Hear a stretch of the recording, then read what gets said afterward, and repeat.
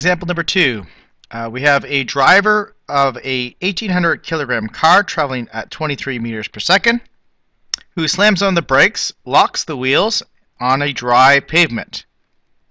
And so the acceleration is backwards, and there is our negative acceleration or deceleration. And we have a coefficient of friction of 0.7. And we're asked to find how far the car will travel. So what is x? So we'll assume that x initial here is 0. Now you can solve this problem by the method that we used to use back in the earlier chapters involving kinematics and dynamics with acceleration. F equals ma and the force would be equal to the frictional force.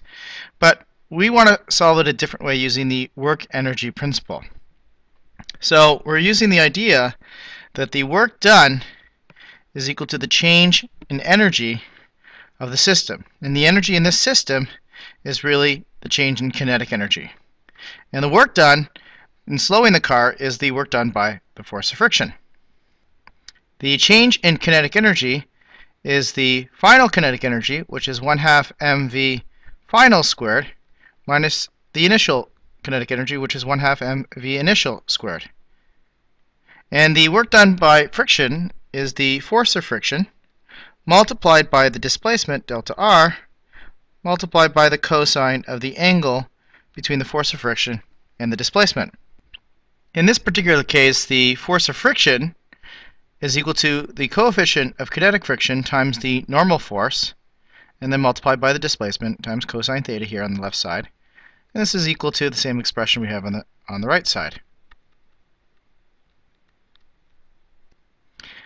Since the surface is horizontal, then the normal force upwards is being balanced by the force of gravity downwards. So really, the normal force is equal to m times g.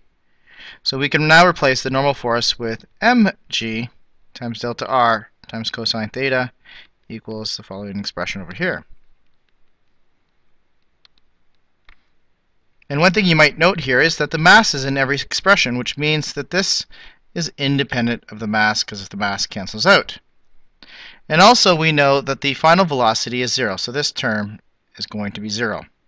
So we now now have the coefficient of kinetic friction times g times the displacement times the cosine of the angle between the force of friction and the displacement. Now the displacement is going forward, but the force of friction that's slowing it down is in the direction of the acceleration, which is backwards. So in this case, the angle is 180 degrees. So this is equal to negative 1 half v0 squared. And when you do cos of 180 degrees, you get negative 1. So this now becomes negative mu k g delta r equals negative 1 half v0 squared. So really these two negatives cancel out. And so now our equation for our displacement is given by the following. Delta r is equal to v0 squared, the initial speed squared, divided by 2 times the coefficient of kinetic friction times g. So let's go ahead and substitute it in there now. The initial speed was 23 meters per second. That quantity is being squared, then multiplied by 2, uh, divided by 2 times mu, which is 0.7, and g is 9.8 meters per second squared. And that gets, gives you an answer of a displacement of 38.5569, uh, so we'll round that up to 38.6 meters. Okay, that's for part A. Now we're asking for how far would the car travel if it were going twice as fast? And this is why I derived this all symbolically, because we can now go to this expression here, where we have delta r is equal to the initial speed squared divided by 2 times mu k times g, which gave us an answer of 38.6 meters. Now, if the new velocity, v0 we'll call prime, is now uh, twice as fast as the original speed, we're going to have the following. Delta r prime will be v0 prime squared divided by 2 mu k times g. We're going to assume that it's the same coefficient of friction and acceleration due to gravity.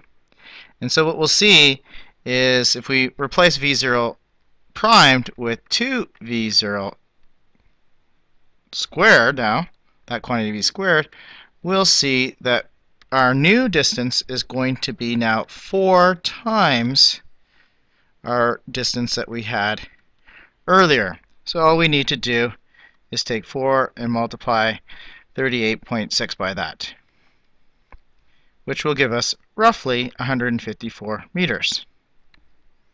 And the last part is asking if the car lost kinetic energy, which it indeed did, and that was because work was done by friction, where did all that energy go?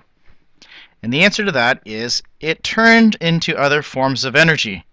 If you were to feel the pavement and the wheels, be a little bit warm because some of that kinetic energy has been converted, or most of it has been converted into thermal energy. Some of it may go into other forms like sound energy. And uh, but mainly it's heat. And this is it for example number two.